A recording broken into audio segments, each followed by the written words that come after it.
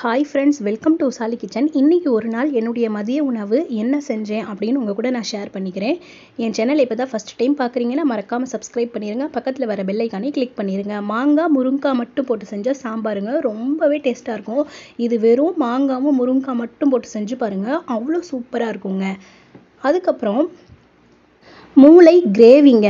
அதாவது மூளை வறுவலுங்க. ரொம்பவே சிம்பிளான மெத்தடு டேஸ்ட்டு அல்டிமேட்டாக அவ்வளோ சூப்பராக இருக்குங்க. அதுவும் மூளை வந்து முழுசு முழுசாக போட்டு நல்லா கிளறு கிளறுன்னு கிளறாமல் முழுசாக அப்படியே அங்கங்கே பார்த்தீங்கன்னா முழுசு முழுசாக இருக்குங்க. ஃபுல்லாக போட்டு கிளறிட்டோம் அப்படின்னா அது ஒரு மாதிரி டேஸ்ட் வந்துடுங்க நம்ம மூளை பாருங்கள் கிரேவி எந்த அளவுக்கு சூப்பராக அப்படியே முழுசு முழுசாக இருக்குதுன்னு அப்படியே ஃபர்ஸ்ட் சாப்பிட்டோன்னா சாம்பாருக்கும் அந்த மூளை கிரேவிக்கும் அவ்வளோ சூப்பராக அல்டிமேட்டாக இருக்குங்க.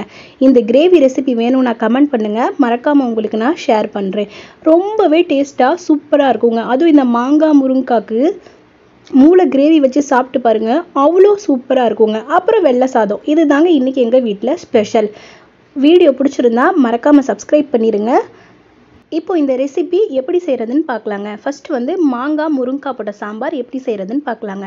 அதுக்கு நான் ஒரு ரெண்டு டம்ளர் பருப்பு ஒரு ரெண்டு தக்காளி மீடியம் சைஸ் தக்காளி ஒரு பெரிய வெங்காயம் கட் பண்ணி போட்டு ஒரு ஏழு எட்டு பல்லு பூண்டு ஜீரகம் கொஞ்சமாக விளக்கெண்ணெய் மஞ்சத்தூள் போட்டு விசில் விட்டுட்டேங்க. ரெண்டு விசில் விட்டுட்டேங்க பருப்பு வேகட்டுங்க. அதுக்குள்ளே சாப்பாடுக்கு அரிசியை ஊற போட்டுக்கலாங்க. நான் ரெண்டு டம்ளர் அரிசி எடுத்திருக்கேங்க. முருங்காவை கட் பண்ணிக்கலாங்க.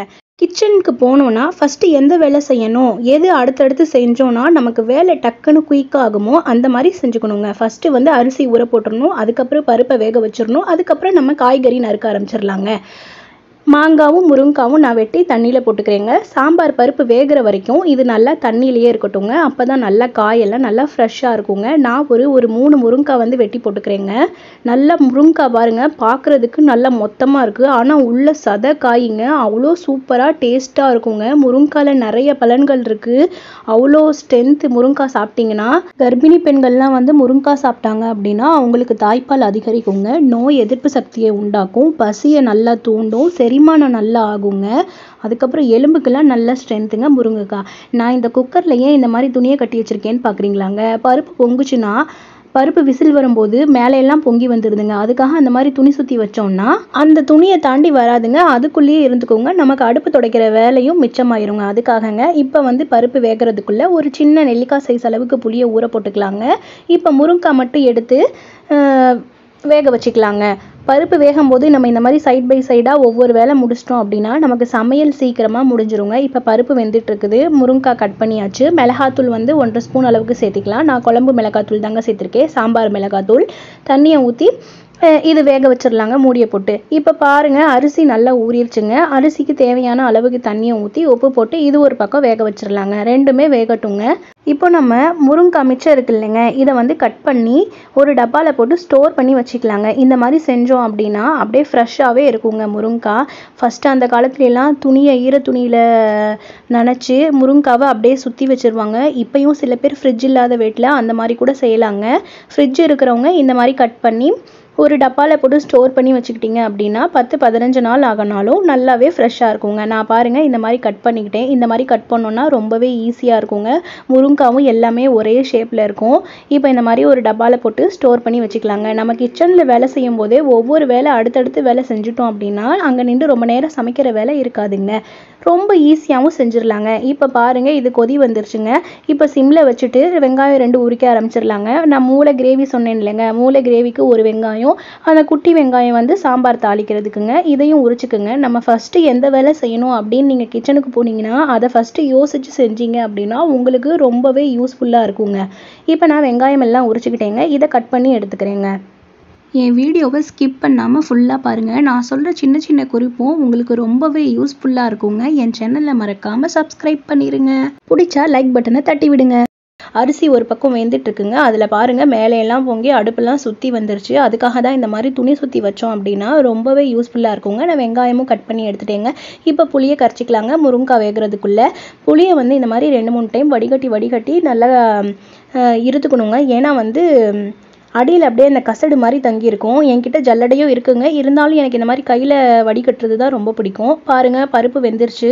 இப்போ பருப்பை ஓப்பன் பண்ணி நல்லா மசிச்சு விட்டுறலாங்க. எல்லா பக்கமும் நல்லா மசிச்சு வரட்டும். மத்துக்கிட்ட இருந்தால் கூட நல்லா மத்த வச்சு நல்லா கடைஞ்சி விடுவாங்க. நான் வந்து இந்த கரண்டிலேயே நல்லா இந்த மாதிரி கலந்து விடுறேங்க. ரொம்பவும் நசிக்கிறக்கூடாதுங்க பருப்பு அங்கங்கே முழுசு முழுசாகவும் இருக்கணும். கொஞ்சம் மசிச்சு இருக்கணுங்க. இப்போ சாம்பார் தூள் நான் சக்தி சாம்பார் தூள் ஒரு ஸ்பூன் அளவுக்கு சேர்த்திக்கிறேங்க. இல்லை நீங்கள் வீட்டில் வேறு ஏதாச்சும் சாம்பார் தூள் வச்சுருந்தாலும் நீங்கள் சேர்த்துக்கலாங்க. இப்போ நம்ம கரைச்சி வச்ச புளியை சேர்த்துக்கலாங்க. நீங்கள் புளியை வடிகட்டுறதா இருந்தால் கூட நீங்கள் வடிகட்டி கூட சேர்த்துக்கலாங்க. முருங்காய் வெந்துருச்சுங்க. இப்போ இந்த பருப்புலேயே நம்ம முருங்காவையும் சேர்த்துக்கலாங்க. இப்போ வந்து இந்த குக்கரை கொண்டு போய் அடுப்பில் வச்சிடலாங்க இது பருப்பில் வந்து நம்ம புளி சேர்த்திருக்கோம். அப்புறம் சாம்பார் தூள்லாம் சேர்த்திருக்கனால இது நல்லா ஒரு கொதி வரட்டுங்க.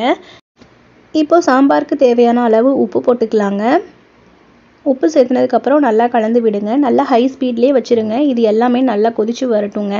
பாருங்கள் எந்த அளவுக்கு சாம்பார் கலர்ஃபுல்லாக வந்திருக்குன்னு.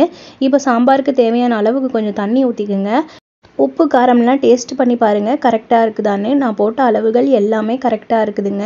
இப்போ இது நல்லா கொதிச்சு வந்ததுமே உங்களுக்கு காட்டுறேன் பாருங்கள் இப்போ தான் லைட்டாக கொதிச்சு வருதுங்க. என்னோட சேனலை மறக்காமல் சப்ஸ்கிரைப் பண்ணிடுங்க பக்கத்தில் வர பெல் ஐக்கானையும் கிளிக் பண்ணிடுங்க இப்போ பாருங்கள் சாம்பார் நல்லாவே கொதிச்சு வந்துருச்சுங்க. நம்ம முருங்காய் வேக போட்டோம் இல்லைங்க. அந்த சட்டியிலேயே இப்போ சாம்பாரை தாளிச்சிக்கலாங்க. அந்த சட்டியை நல்லா கழுவிட்டு வந்துட்டேங்க. இப்போ தேவையான அளவுக்கு எண்ணெய் ஊற்றிக்கலாம் சாம்பார் தாளிக்கிறதுக்கு தேவையான அளவுக்கு எண்ணெய் ஊற்றி நல்லா ஹீட் ஆனதும் ஒரு அரை டீஸ்பூன் அளவு கடுகு அரை டீஸ்பூன் அளவுக்கு ஜீரகம் சேர்த்துக்கலாங்க.